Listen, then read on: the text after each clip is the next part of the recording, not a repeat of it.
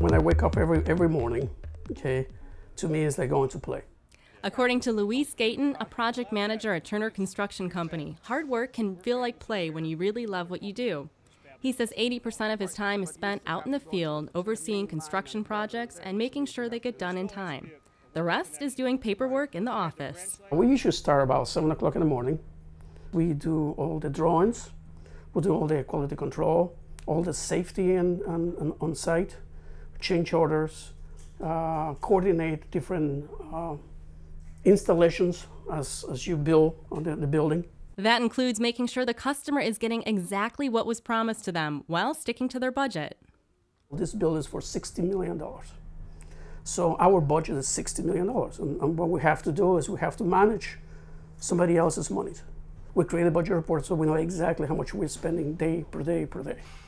There can be hundreds of people involved with one project at any given time, which means many of the tools they use are for communication. We use cells, okay? We use um, walkie-talkies sometimes, or, or as, as simple as we use an iPad. Which allows them to send information to hundreds of people at once and compactly store information needed in the field. For this specific project, we, we probably will use about 1,500 drones, okay? There's no way you can carry 1,500 drones with you in your hand. Back in time, you used to go, bring the person in, sit out on the trailer, and go through the drones. Nowadays, through the iPad, the software that we have, just immediately have 1,500 drones on your hand. It's this growing technology that he feels will fuel the construction industry in the future. If any city, regardless of what the city is, wants to be a, a big city, they have to construct. So the construction industry not only brings jobs to the, to the society, they also bring new technologies. Watching projects get completed is one of the most rewarding parts of his job. That was an emergency pavilion for Metro Hospital on uh, 25th. And the best rewarding thing is creating something or helping create something that is going to help the community. And a hospital is nothing better than that. Luis says he has been working at Turner Construction for 20 years, and it took him 15 years to become a project manager. His path to his current position began by taking college courses, many in science and math. Oh boy, I'm a mechanical engineer, so I went for a mechanical engineering degree. Uh, classes I took, physics, calculus, uh, stress analysis, um, um, dynamics. Do we apply all those classes in the field? Not all of them, but the majority we do. What you learn an engineering degree is know how well you can do uh, or, or design is how well you can think I can apply some of the knowledge.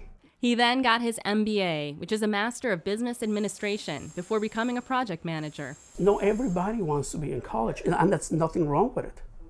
Okay? There's plenty work out there that you can do and be very successful. You can, I know people that work for, with us in the construction industry, and they're very successful what they do. They love what they do. Okay, they went to trades, they got their, their, their, their GEDs, so they got their high, uh, high school diploma and after that, they went in and got into the union. According to the Bureau of Labor Statistics, a median salary for a construction manager is $94,590 a year. For students interested in pursuing a career in construction, Luis says the number one thing to do is finish high school and then decide what you want to do. Well, first of all, you have to go to the union, okay? And they're to tell you exactly all the classes you have to take. They give it to you. If you want to be an engineer, be the best engineer you can be.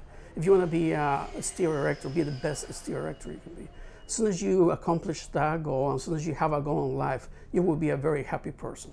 You're a very happy person, you know, the rest is, is piece of cake.